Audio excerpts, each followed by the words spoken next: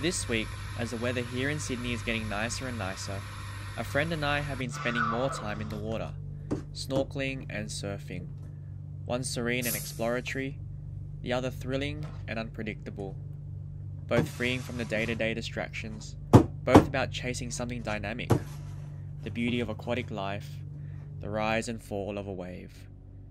The full experience of these require your attention and to be present amidst the impermanence. This is something that I can take home and appreciate about making coffee.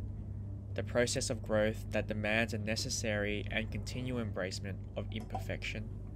There are some good pours, and more often than not, bad pours. For me to fully enjoy this hobby, I believe there is a need for me to not only accept inconsistency, but in order to unravel the beauty within each cup, from the radiating warmth and soul of the body to the authenticity and uniqueness found within the cracks.